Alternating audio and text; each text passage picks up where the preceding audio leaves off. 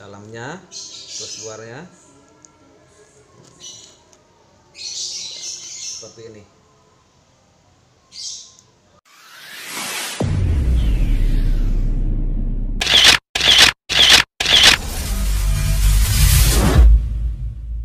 Oke teman-teman kembali lagi dengan saya Chef Jenggu. Kali ini saya akan membuat tahu wale. Tahu wale dengan isian bakso. Ya, Bakso dari ayam. Kita proses pertama mengeluarkan isinya Yaitu dengan dibelah dulu. Dibelah bisa menggunakan pisau atau menggunakan gunting. Terserah eh, teman-teman. Kemudian kita keluarkan isinya. Jadi ya isinya ya tahu ini. Nanti eh, kita keluarkan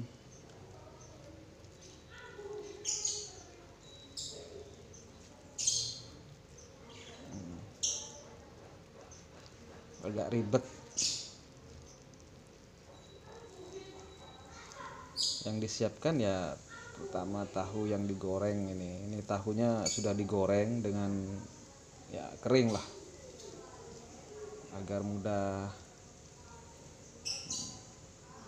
Nah, setelah dikeluarkan baru tahu ini dibalik. Namanya saja tahu wale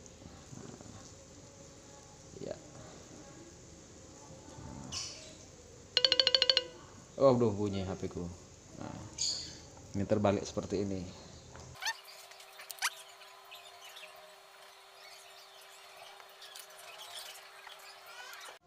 Sudah dibalik semua dan ini isinya.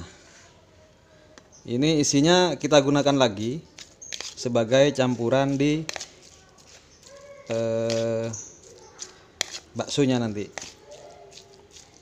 Ini kita haluskan singkirkan dulu. Kita haluskan Nah, jadi ini nggak dibuang eman-eman kalau dibuang.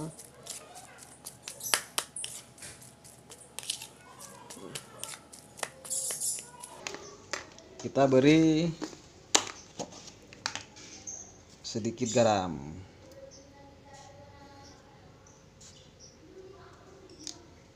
Ya. aduk aduk nah ini daging yang sudah digiling. Yang sudah digiling kita campurkan di sini. Ya lihat sudah tidak lengket kalau tadi. Nah, kita campurkan. Hmm enak ini saudara-saudara kita aduk dulu. Hmm.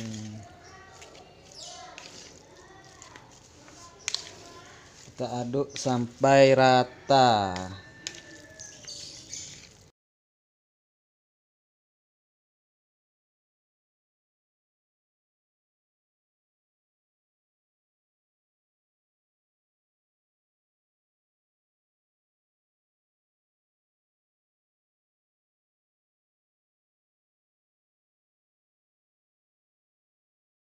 mari kita mulai mengisinya.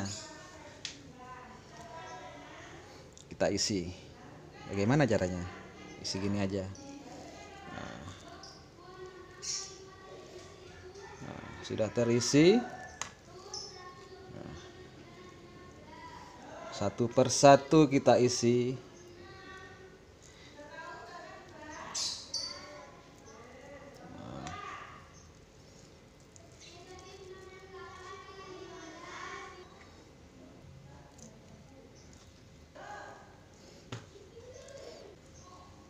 ini sudah diisi tahu waliknya ada di bawah, di bawah. Ini tahu bakso biasa yang lain.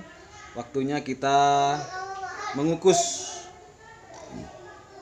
Oke mari kita kukus. Oh sudah disiapkan. Tinggal buka. Kita masukkan.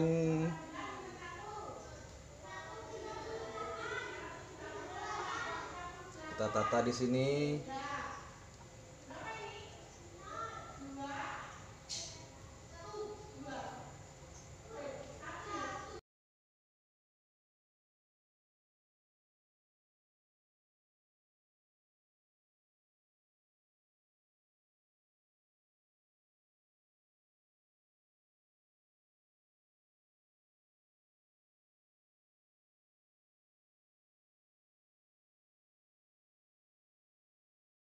kemudian kita tutup.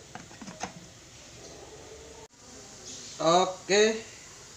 Sudah matang. Aduh aduh, aduh, aduh. sudah matang. Matikan kompornya. Nah, kita ambil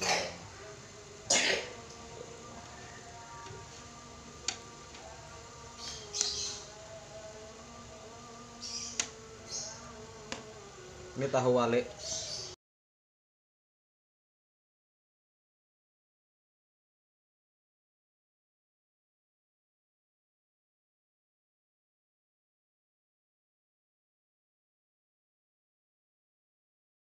Setelah dikukus tahu wale itu digoreng.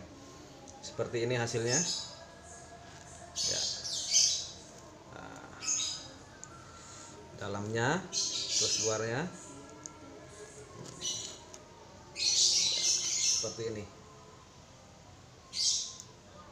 Ini bisa dikonsumsi untuk lauk juga bisa terus hmm, langsung dikonsumsi dicocol dengan saus tomat atau saus sambal.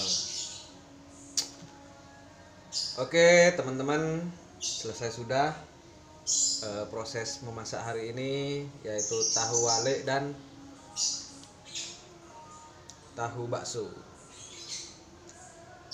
Sampai berjumpa lagi di resep selanjutnya.